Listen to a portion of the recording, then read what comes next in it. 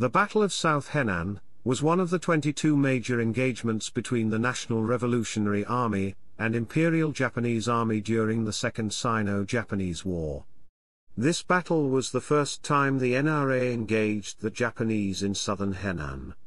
In January 1941, the Japanese 11th Army split into three routes to attack the Chinese positions. Their main objective was to eradicate Chinese control of the Pinghan Railway's southern section. Li Zongren, commander of the Chinese Fifth War Area, avoided frontal contact with the Japanese as much as possible. Instead, he fought conservatively, diverting his main forces towards the two flanks.